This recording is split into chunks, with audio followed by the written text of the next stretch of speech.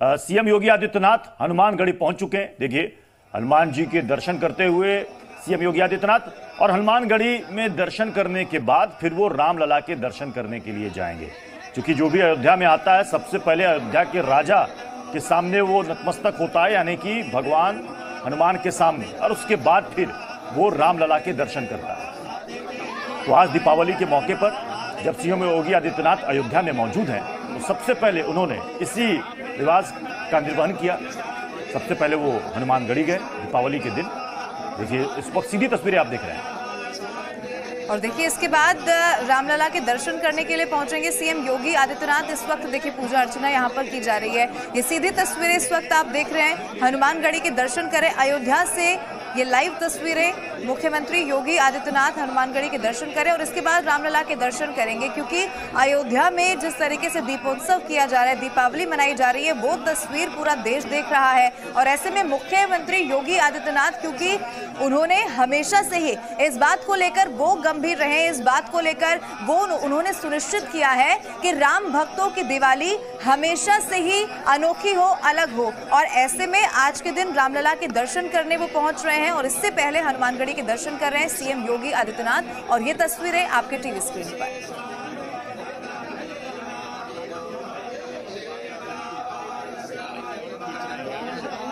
तो जो लोग इस वक्त अयोध्या, जिनको अयोध्या नहीं पहुँच पाने का मलाल है कि वो अयोध्या नहीं जा सकते, इस वक्त जी हिंदुस्तान पर ये सीधी एक्सक्लूसिव तस्वीरें आप देख सकते हैं और हनुमानगढ़ी में हनुमान जी के दर्शन आप कर सकते हैं साक्षात इस वक्त। तो सीधी ताज़ा तस्वीरें इस वक्त सामने आ रही हैं। और इसके बाद जी हिंदुस्तान आपको रामलला के भी दर्शन कराएगा। कुछ देर के बाद आठ बजकर पचपन मिनट पर योगी आदित्यनाथ रामलला के दर्शन करने पहुँचेंगे। हमारे साथ शालिनी भी बनी हुई है। शालिनी जैसा आपने बताया था, देखिए, हनुमानगढ़ी में अयोध्या के राजा के पास पहुँचे हैं पहले सीएम योगी आदित्यनाथ। और इसके बाद आठ बजकर पचपन मिनट पर उनको पहुँचना है वहाँ पर।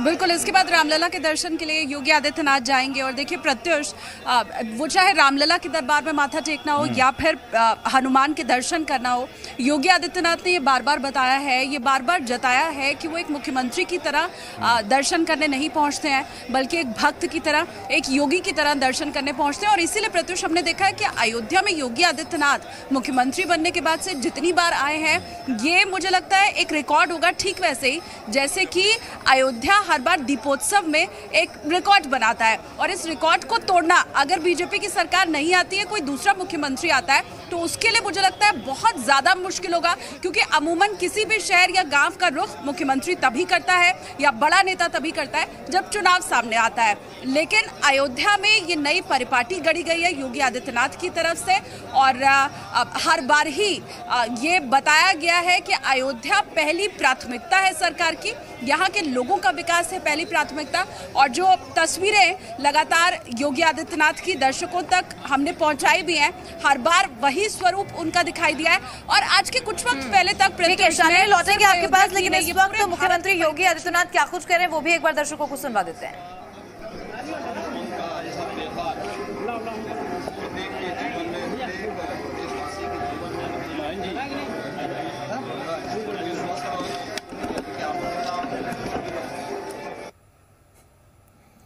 देखिए तस्वीरें आपने देखी मुख्यमंत्री योगी आदित्यनाथ यहाँ पर पहुँचे शालिनी लगातार हमारे साथ हैं। शालिनी आपने कहा कि वो तस्वीर पूरे देश ने भी देखी है कि एक मुख्यमंत्री के तौर पर वो यहाँ पर हमेशा नहीं पहुँचते हैं। वो एक राम भक्त के तौर पर एक योगी के तौर पर पहुँचते हैं और यही कारण है कि अयोध्या अगर विधानसभा चुनाव का केंद्र है। चलिए मुख्यमंत्री क्या कह रहे पहले सुनवा अभी मैंने यहाँ पे हनुमानगढ़ी में दर्शन किया है। इसके बाद रामलला का दर्शन करेंगे फिर अंत्योदय परिवार तक।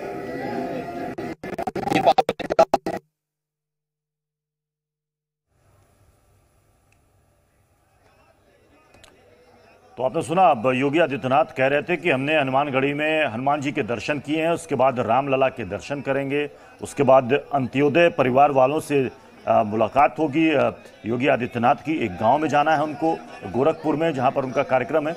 और जैसा कि पहले ही यूपी सरकार ने, योगी सरकार ने ऐलान कर दिया कि अंत्योदय अंत्योदय योजना के तहत जो मुफ़्त अनाज है, वो आपको होली तक मिलता रहेगा। तो एक बड़ी सौगात गरीब परिवारों को पहले ही राज्य सरकार की तरफ़ से मिली है। और आज जो ये तस्वीरें आप इस वक्त देख रहे हैं, जो अयोध्या में जो दीपावली पूरा देश मनाता है, उस दीपावली का खास महत्व क्या है आज के समय में? और उसको इतिहास से जोड़ते हुए ये तस्वीरें काफ़ी अहम हो जाती हैं। इस वक्त शालिनी लगातार हमारे साथ बनी हुई हैं। शालिनी, अभी हमने सुना कि योगी आदित्यनाथ ने कहा कि इसके बाद हम रामलला के दर्शन करेंगे और फिर अंत्योदय योजना के तहत परिवारों से उनके मिलने का कार्यक्रम है। यानी कि आज भी 24 फोर इंटू सेवन आज भी जनसेवा जारी रहेगी दीपावली के दिन भी। बिल्कुल और ये तो देखिए दिवाली से लेकर के होली तक का गिफ्ट हो जाएगा प्रदेशवासियों के लिए।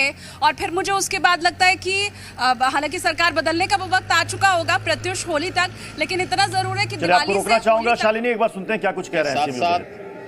दाल खाद्य तेल एक किलो नमक, एक किलो चीनी उपलब्ध कराएँगे। पात्र गृहस्थी परिवारों को पर यूनिट पाँच किलो खाद्यान्न। अगर किसी परिवार में सात सदस्य हैं तो पैंतीस किलो खाद्यान्न उस परिवार को ही मिलेगा, जिसमें खाद्यान्न में चावल और गेहूँ है। एक किलो दाल, एक किलो खाद्य तेल, एक किलो नमक उन परिवारों को उपलब्ध करवाएँगे। ये दिसंबर से जारी हो जाएगा। इसके साथ ही हम आभारी हैं आदरणीय प्रधानमंत्री जी के, कि डीजल और पेट्रोल पर एक्साइज की ड्यूटी को कम किया गया एक्साइज ड्यूटी का कम होने का मतलब जितने बड़े पैमाने पर किया गया है, राज्य सरकार ने भी उसमें थोड़ा योगदान दे करके डीजल पर बारह रुपये और पेट्रोल पर भी बारह रुपये, केंद्र और प्रदेश सरकार मिलकर के इतनी राहत हर नागरिक को दी स्वाभाविक रूप से पेट्रोल युवा और नौकर पे, नौकरी पेशा वाला व्यक्ति उपयोग करता है और डीजल किसानों का उपयोग में आता है। और एक सामान्य उपभोक्ता के जीवन में भी अगर कहीं से महँगाई आती तो डीजल पेट्रोल का उसमें योगदान होता है। तो यह बहुत बड़ी राहत है। दीपावली के अवसर पर प्रधानमंत्री मोदी जी का एक उपहार है। मैं इसके लिए प्रदेशवासियों की ओर से प्रधानमंत्री मोदी जी का और केंद्रीय कैबिनेट का हृदय से आभार व्यक्त करता हूँ। पूरे प्रदेशवासियों को दीपावली की मंगलमय कामनाएँ सबके प्रति व्यक्त करता हूँ।